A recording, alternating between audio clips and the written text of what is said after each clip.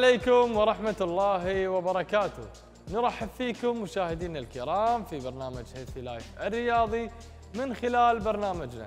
نساعدكم على المحافظة على لياقتكم البدنية وتعزيز صحتكم العامة وتحسين آه، سلوككم الغذائي. وكذلك نقدم لكم فقرتين. الفقرة الأولى عبارة عن نصائح عن التغذية ونصائح عن التمرين الفقرة الثانية نقدم لكم فيها مجموعة تمارين ومن خلال هذه التمارين نشرحها لكم بالشكل الصحيح والخاطئ على أساس تستفيدون بالشكل الصحيح. اليوم إن شاء الله راح نتكلم عن وهو كيفية خسارة الدهون بصورة سليمة وإنزال الوزن بصورة سليمة وعدم التعرض للأمور السلبية اللي هي آه، على سبيل المثال نقص في الفيتامينات أو الإصابة في الترهلات أثناء خسارة الوزن.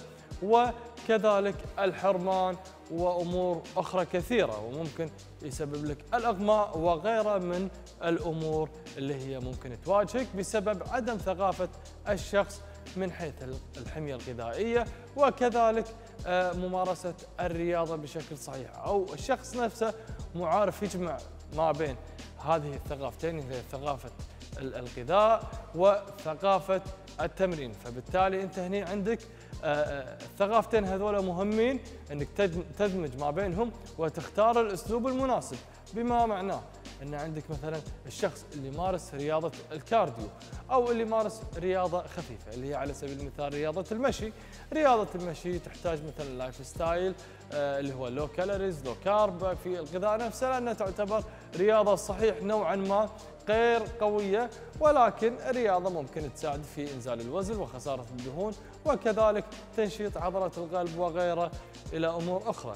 ولكن نتكلم عن على سبيل المثال اللي هو عندك التمارين ال HIIT أو تمارين CrossFit أو تمارين الأثقال أو تمارين آه، آه، اللي هو رفع آه، الحديد.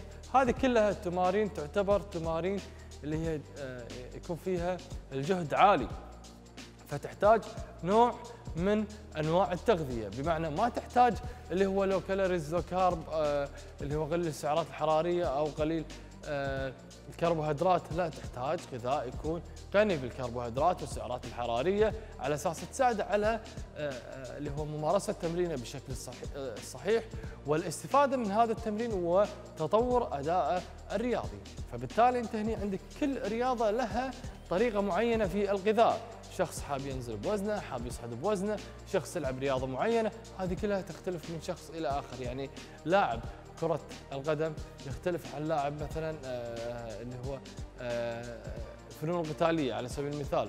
آه، طريقة الغذاء عندهم تختلف. أيضا الشخص اللي يمارس الرياض رياضة المشي عفوا يختلف عن الشخص اللي يمارس رياضة كمال الأجسام. فهني عندك هذه التغيرات وهذه التغيرات بمعنى الجهد العالي اللي يبذله في الرياضة. كل ما بذل جهد عالي كل ما اختار اللي هو الغذاء يكون غني بالكربوهيدرات والسعرات الحرارية. ولكن في نقطة مهمة طبعا أنت تحدد احتياجك من خلال الغذاء. يعني ما تأكل نفس الشخص الآخر مثلا شخص طوله 196 آه، سنتيمتر تقريبا هذا الشخص يحتاج نوعية خاصة من التغذية. على أساس آه، تلبي احتياج جسمه، هذا احتياج جسمه يحتاج أكثر من الشخص اللي طوله 170 فأنت هنا عندك أيضا آه، الوزن، الطول هذه تكون متفاوتة ما بين شخص إلى آخر. لا تأخذ نفس الجدول اللي يأخذه زميلك. إلا إذا كان نفس طولك ونفس وزنك ونفس هدفك ونفس الرياضة اللي أنت تمارسها ممكن تقريبا نوعا ما أنك تختار نفس طريقة الغذاء. ولكن الأفضل دائما كل شخص يراجع دكتور تغذية. دكتور التغذية هذا راح يساعده بشكل كبير على تقديم الجدول المناسب اللي يحتاجه جسمه واللي راح يساعده بشكل كبير على تحقيق هدفه في أسرع وقت. وهذا كان موضوعنا اليوم. إن شاء الله أتمنى الجميع استفاد منه. تابعونا من بعد الفاصل بتمارين جديدة.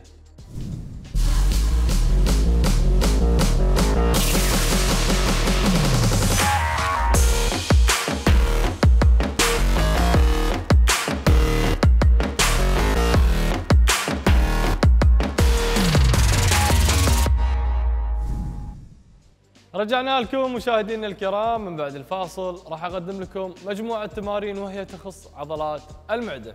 طبعا عضلة المعدة تتكون من أكثر من منطقة اللي هي المنطقة العليا لعضلة المعدة ومنتصف المعدة وأسفل المعدة وكذلك الخواصر ومنطقة أسفل المعدة تسمى بعضلات الكور طبعا هذه المنطقة آه، يعني بعض الأشخاص يعانون من ضعف في هذا المكان بسبب تكون الدهون فيها والماء في أسفل المعدة. فبالتالي إن شاء الله راح أقدم لكم تمارين راح تساعدكم آه، في آه، إزالة الدهون أو التخلص من الدهون. وكذلك التمارين تعتبر تمارين منزلية تقدر تمارسها في المنزل في الممشى وحتى وأنت مسافر.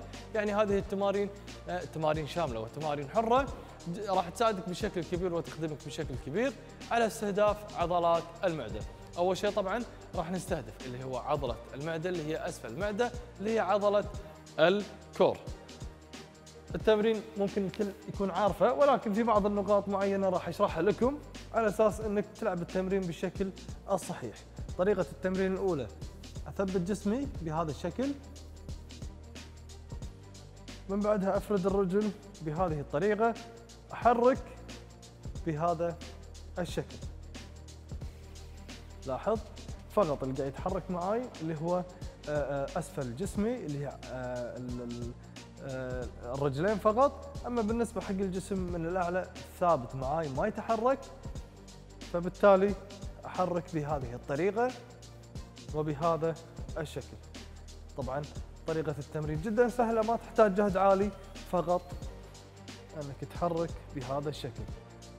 طبعا بالنسبة حق الجولات يكون التمرين. ثلاث جولات آه، آه، في آه، اللي هو مدة ثواني.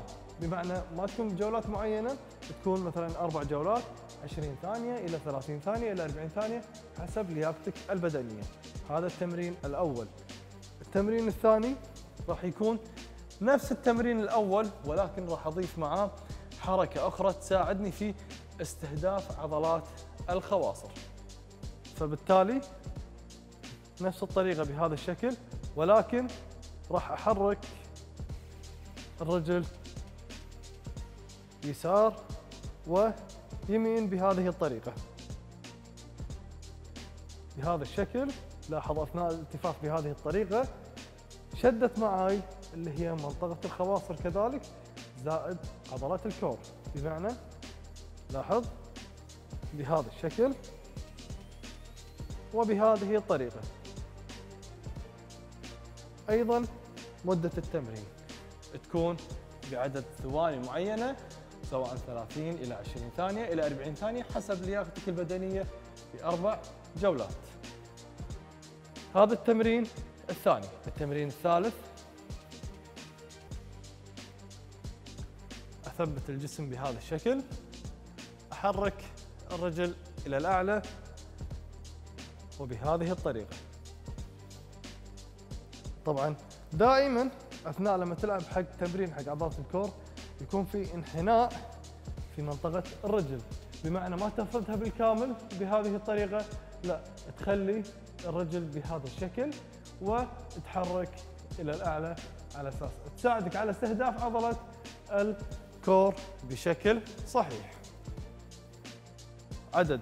الجولات تكون أربع جولات في 15 تكرار حسب اللياقة البدنية إذا كنت تقدر تلعب ل 20 تكرار أيضا تقدر تزيد ل 20 تكرار.